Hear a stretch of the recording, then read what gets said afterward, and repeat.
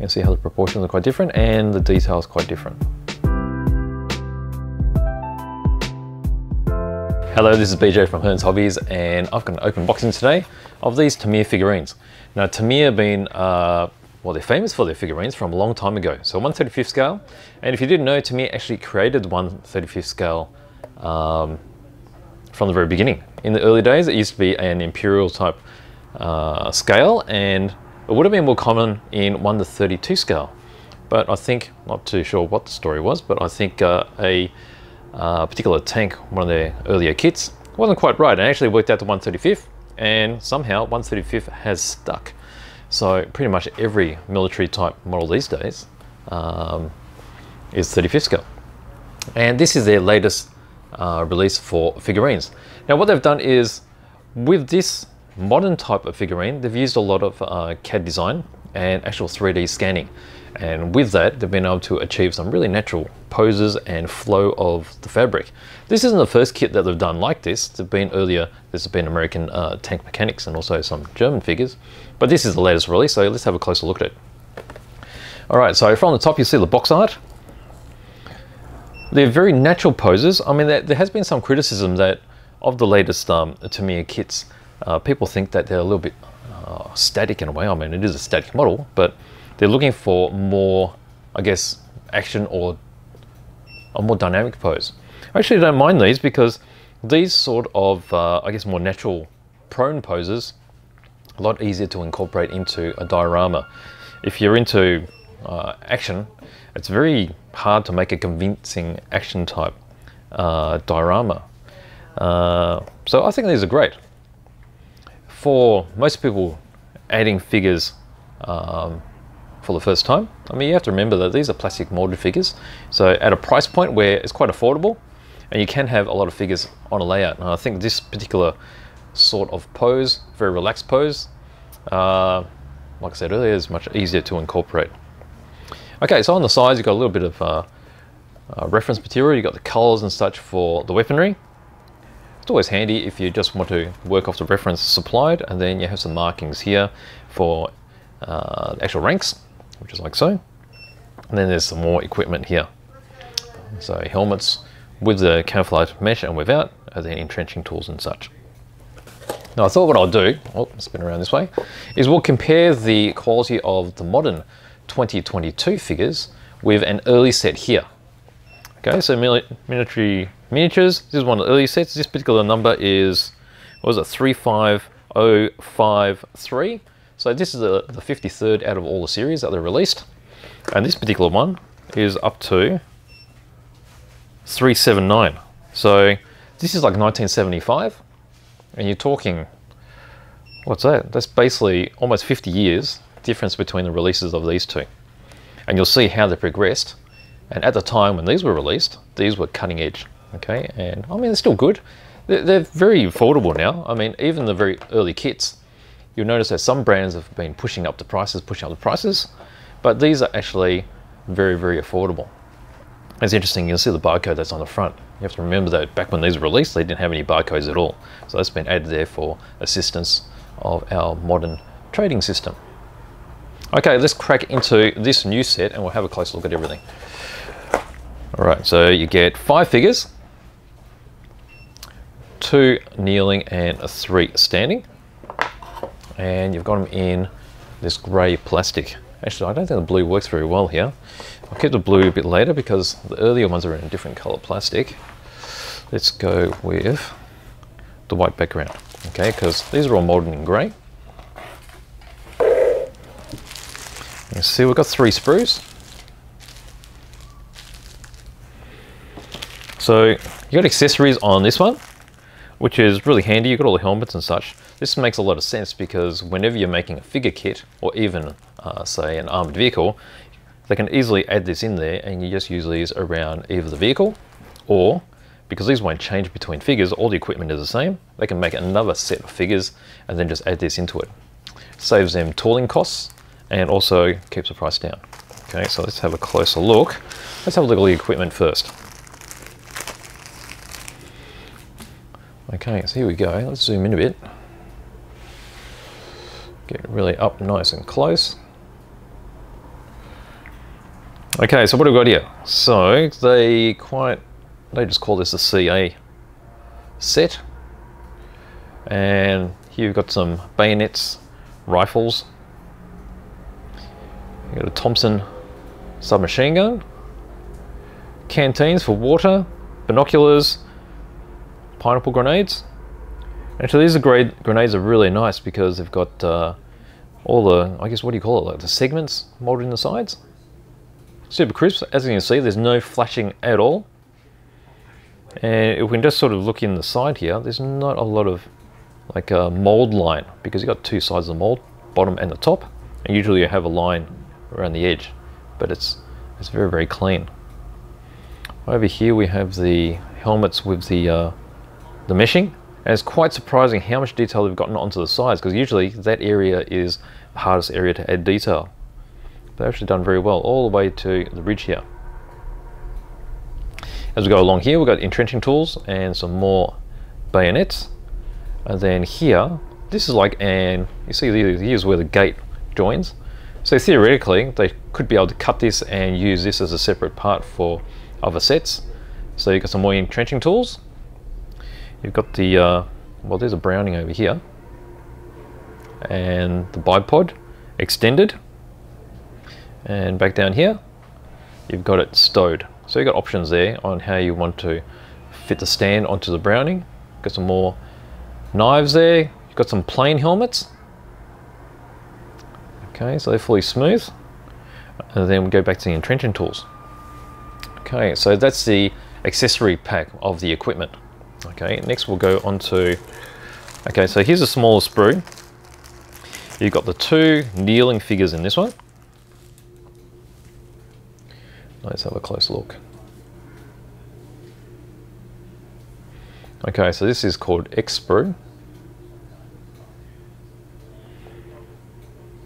Now we've got the, usually they've got the figures so that they're, so they're probably split in the center here across the sprue. So all this top section is for one figure. See the hand there, how they've used a lot of different, um, I guess, thinking about how they're they're pulling apart the figure to aid in the assembly and the painting. So usually you'll see that the hands would be quite often, uh, they'll be cut off from the cuff. But you see that there's still some cuff attached here so they can get all the cuff detail. See around the side? And so the hand is incredibly well molded. Individual fingers. Quite often you wouldn't find any gaps in fingers. You've got the, the arm here and then you have another arm on this side which has got the hand attached. That's probably for the one uh, that's supporting the, the radio. Okay, see the torso here has been split in two. Now by splitting in two, you can actually orientate it to a point where you can get the mold to pull the most detail possible. And so here you've been able to angle the shoulders up a little bit so you can get all that shoulder detail, which quite often you'd find will have a mold line and it'll cover, cover up all the epaulettes and such. Okay, so you've got all the side detail there too. And on the back, you'll see how it's been hollowed out. Okay, then you've got the legs. Legs are split in half. There's nothing majorly different there. You see, there we go, how they're joined. And the way they've been split, this is a, a fairly traditional, what they call multi-pose figure type set. You see the torsos will be separate. So if you ever did want to mix and match parts, you can do so. Okay, you can see how the arms are split across here, which will be the seams for the arms on the jackets. Okay, going across here, we've got some equipment here. Got some pouches. And then you have the head right there. And the head is quite an important part because that adds a lot to the realism of the figure. And then you see the radio. And you see the radio compared to the size of the head. I mean, they were massive back in those days. You have to remember that's that's 70 odd 80 years ago. And then we move on to the other half, and this will be the other figure. So the other figure is the one that's just uh, kneeling down, supporting himself with uh, the rifle. Head again, really nicely molded. And go all the way to the back here. Got the bandoliers for um, some bandoliers for the ammo. right there as well. You can see how they've been scrunched up. I mean, that's in a natural hang type arrangement. And then again, we've got the, the legs in two parts and then the torso is split again. You see how crisp all that is. So one of the hardest things in injection molding is to get the undercuts in folds and such. But they've done a really good job here. And you can see just from shadows from the light, how you've got the, the jacket here, lapels, they've got a lot of depth to them. And there's the back there. Okay. Actually, I missed here, there's a backpack on this side as well, which is right there. Okay, so I've got that, and then we have one more sprue, which is a large one here. And this has three figures on it. So you've got one here, one here, and one here. and also including stands as well. Just in case you want to set it up so that they're not glued into a diorama and they can be freestanding. Okay, let's have a close look at these as well.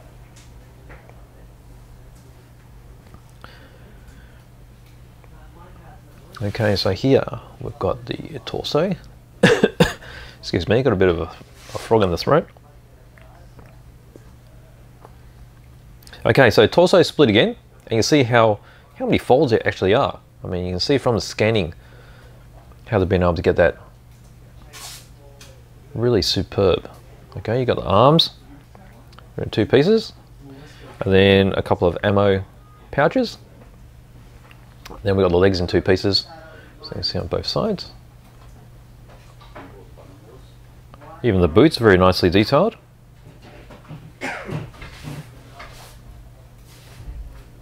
And then we got the head there.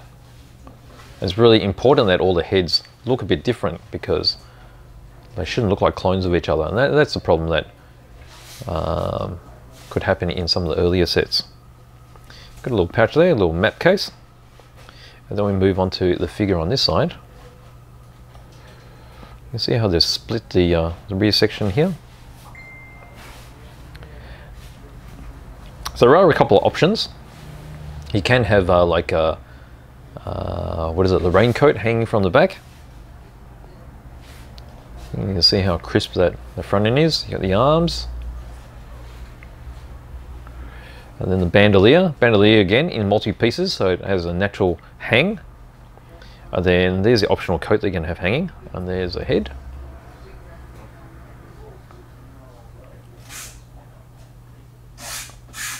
Really nice. And then there's the leg. And again, you can see how it's been split. So it's multi-piece. Usually you have this split across the waist, but to get some extra detail, they've made that a separate part. And the other leg. And then we're onto the last figure, which is over here. Again, front and back of the torso. So hollowed out torso. Got the arm, you got a separate hand there. There's the head.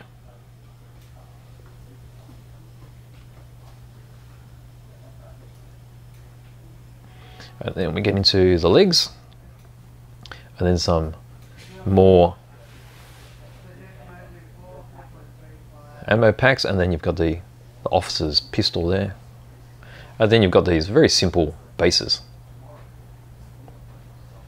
So I mean, they didn't need to include the bases, but I mean, it keeps it all uniform looking. You know, if you like to move your figures around, because I mean, it's not hard making a base, you just cut it out of a bit of styrene, but it is nice that it's included. Okay, so that's all the plastic parts. And then we end up with some really nice decals. Okay, I'm not gonna open this because I don't want to mark the decals, but you'll be able to see through this protective, it's like a tissue paper in there. Now, if I hold it at the right angle, you'll be able to see that they actually give you all the shoulder insignia. Saves you from painting them, because I mean, most people will have great difficulty in painting these. So you got choices there, and then there's um, white ones there, which are probably markings for, don't know what they're markings for, not for the helmets. We'll check the manual in a moment and we'll see, but that's a really, really nice touch. Okay, so let's have a look at the manual. So usually you don't get a manual with figures, Usually it's just printed on the back of the box, but this is quite uh, in depth. You see the options of where grenades were normally uh, placed on the uh, on the jacket and on the webbing equipment. So you go through all the different figures. So there's a commander, and then you've got your infantry. So he's got the BAR. He's got a carbine, and uh, well, he should have a um, the pistol case. I'm guessing I can't see the holster there. And then on this side, you've got the others, the final standing soldier there. There's the option of the raincoat on the back. And then you have the kneeling soldier here. And then you have the kneeling soldier with the radio. Then of course he's going to need a weapon. So there's a weapon and there's a map they can cut out to use. And there's an, a sort of a guide on what you can do there. So this guy's weapon is just resting on top of the map. And then here's the decals. So there it is. So the white are for the helmet. So you've got the markings for captains and all the different ranks. And then you have the different decals here for the shoulder pads as well. Okay, so there you go. So that's the uh, kit there. Now what I was going to do was I was going to show you the difference between this earlier kit. Okay, so how about I get this blue mat halfway across here because this is in white and it's going to be a bit easier to see over here. Okay, so there it is. Okay, so from 1975. Uh, what's happened here? There you go. Okay, so it's nice it's got a little bit of really thin styrene, so this is useful for making the reins. So you just need to trim those off into strips. We won't look at the horse, we'll look at mainly the figure, or the figures. Okay, so you got those there, and we'll look at these guys here. And I think the biggest difference is going to be the proportions. Okay, so you can see how these are quite stout. The details are a little bit soft, and we'll see that as I zoom in.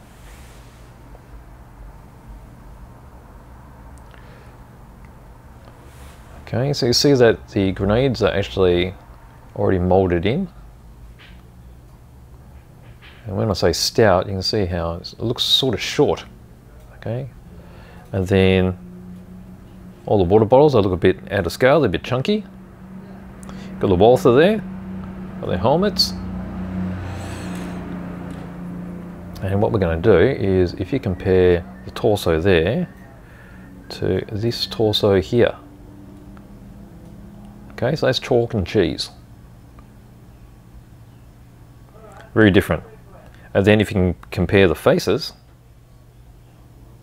where are we? There we go. You can see how the proportions are quite different and the details quite different. And when you go to weaponry, let's see if we can do this. Let's get a rifle from here. Compare that to a rifle here. And the grey one is the newer tooling. It's not a great difference, but I mean, there is a lot more sharp detail on this. This is a little bit softer, even though they've done very well with the, the tr trigger guard. You can see there.